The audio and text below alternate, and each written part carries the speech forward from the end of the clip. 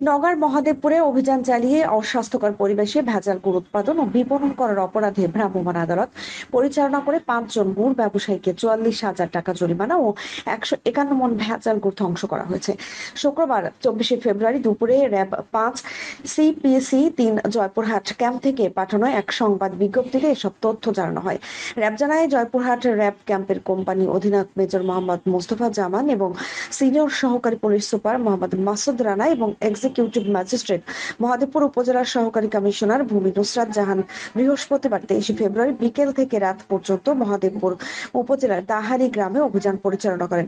এ সময় ভেজাল গুড় তৈরির অপরাধে জাতীয় ভোক্তা অধিকার সংরক্ষণ আইন দুই হাজার নয় এর বায়ান্ন ধারা মোতাবেক দাহালি এলাকার কালাম গুড় কারখানার মালিক মোহাম্মদ আল মামুন সর্দারকে ত্রিশ হাজার টাকা, হাজরা গুড় ঘরের মালিক শ্রী অনুকূল চন্দ্র হাজরাকে পাঁচ হাজার টাকা, রতন গুড় ঘরের মালিক শ্রী রতন চন্দ্র মণ্ডলকে তিন হাজার টাকা, গৌতম গুড় ঘরের মালিক গৌতম কুমার হাজরাকে তিন হাজার টাকা ও আল আমিন গুড় ঘরের মালিক মোহাম্মদ আলামিন মণ্ডলকে তিন হাজার টাকা সহ মোট চুয়াল্লিশ হাজার টাকা জরিমানা করা হয়।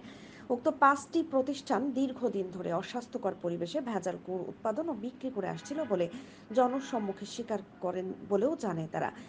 এদিকে পরে ভেজাল গুড়গুলো ধ্বংস করা হয়। ভ্রাম্যমাণ আদালতের এক্সিকিউটিভ ম্যাজিস্ট্রেট নুসরাত জাহান বলেন, এই অভিযানে একশো একান্ন মন ভেজাল গুড় ধ্বংস এবং আঠারো হাজার ছয়শো পঞ্চাশ লিটার দূষিত চিনির শিরা, তিন হাজার একশো ষাট লিটার মিষ্টির ময়লা শিরা, দুই হাজার পাঁচশো পঞ্চাশ কেজি হাইড্রোজ, সাড়ে চার কেজি কেমিক্যাল রং, চার কেজি স্যাকারিন, পাঁচশো গ্রাম ফিটকিরি ও পাঁচ কেজি চুন জব্দ করা হয়েছে।